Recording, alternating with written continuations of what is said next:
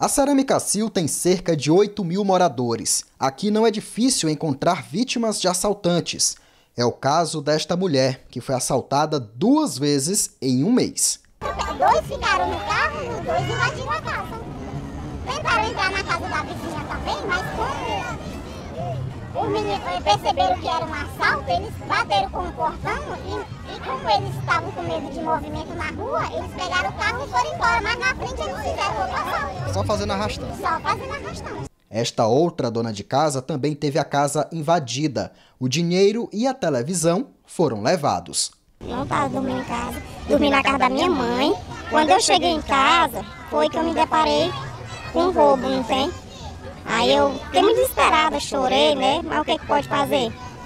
Minhas coisas ficaram tudo bagunçadas lá. Mas eu já tô quase sabendo quem é as pessoas, mas tá quase uma hora que eu tô à espera de uma viatura para eu poder ir atrás deles. Que eu queria que eles me devolvessem minha TV, porque foi tão difícil para mim conseguir, né, para eles me tomarem assim. Os moradores preferem não se identificar com medo dos bandidos, que andam livremente pelas ruas da comunidade. O pilotão de policiamento ostensivo da Cerâmica Sil foi desativado há seis meses. A partir daí, os moradores não tiveram mais sossego. Os assaltos são diários e o prédio serve agora de enfeite. Há três meses, os próprios moradores se reuniram e estruturaram o PPO. A polícia ficou por alguns dias, mas o local foi mais uma vez fechado. Durante esse tempo, a, a população está toda afrontada com a marginalidade que aumentou. O que a gente fez, mobilizou todo mundo.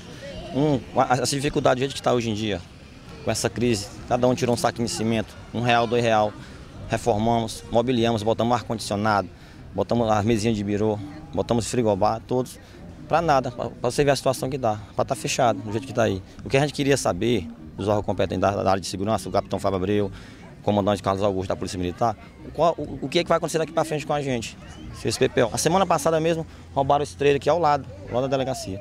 Isso aí é o que a gente está querendo, só, só o direito da gente. Semana passada, revoltados, os moradores interditaram a PI 130, reivindicando policiamento. Eles prometem repetir o movimento. Se não tiver posição dos órgãos competentes na área de segurança, a gente vai fechar novamente. Fechar, ou então fechar aqui na frente, ou então na frente da secretaria, que é o mais certo, para ver se a gente é atendido. Porque nem, ó, agora vai vir mais, mais gente aqui, está chegando a eleição.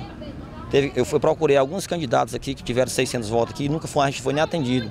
Entendeu? É isso aí que a gente está querendo, só o direito da gente, só o direito da gente poder ir numa praça, sentar, conversar com o filho da gente, conversar com, os amigos, e a gente não tem mais direito. Só que tem Deus para dar para a gente novamente. Policiamento não tem. Para proteger.